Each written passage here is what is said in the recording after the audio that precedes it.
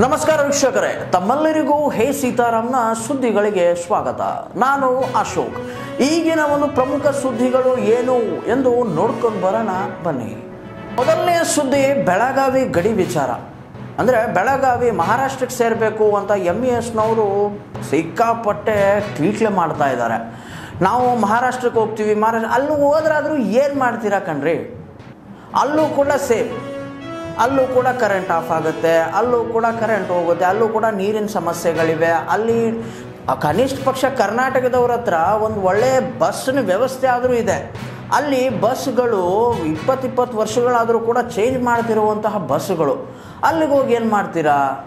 ಅಂತ ಸಾಮಾನ್ಯ ಜನತೆ ಹೇಳ್ತಾ ಇರ್ತಾರೆ. ಇಲ್ಲ, ಅವ್ರವ್ರ ಅಭಿಪ್ರಾಯ, ಅವ್ರವ್ರು ಏನಂತೀರ ನೀವು?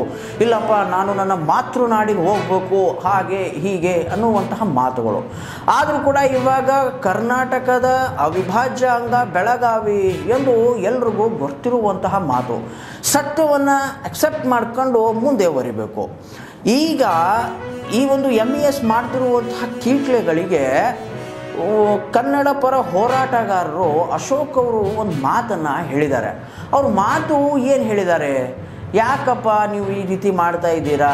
ಮೊದಲೇ ಮೊದಲೇದಾಗಿ ಹೇಳಬೇಕಪ್ಪ ಅಂತಂತಂದರೆ, ಮಹಾರಾಷ್ಟ್ರದ ಭಾಗ ಅಲ್ಲ ಬೆಳಗಾವಿ, ಅದು ಕರ್ನಾಟಕದ ಭಾಗ ಅನ್ನುವಂತಹ ಮಾತು ಕೂಡ ಈ ಒಂದು ಕ್ಲಿಪ್ನಲ್ಲಿ ನಿಮಗೆ ಗೊತ್ತಾಗುತ್ತೆ ಏನದು ಸುದ್ದಿ? ನೋಡ್ಕೊಂಡು ಬರೋಣ, ಬನ್ನಿ.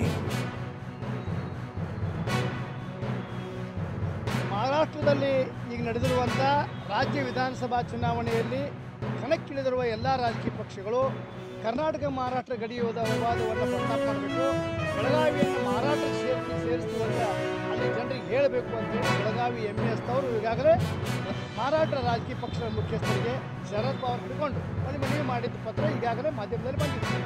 ನಾವು ಒಂದು ಮಾತು ಕೇಳ್ತೇನೆ, ಸುಪ್ರೀಂ ಕೋರ್ಟ್ಗೆ ಗಡಿಯುವಾದ ತನಿಖೆ ಹೋದವ್ರು ಯಾರು? ಮಹಾರಾಷ್ಟ್ರದವರು ಕರ್ನಾಟಕದವರಲ್ಲ.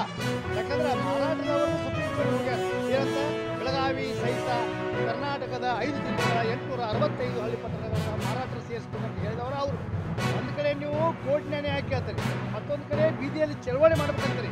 ಎರಡೂ ಏಕಾಲಕ್ಕೆ ಮಾಡ್ಲಿಕ್ಕೆ ಸಾಧ್ಯ ಇಲ್ಲ. ಅದಕ್ಕೆ ನಮ್ಮ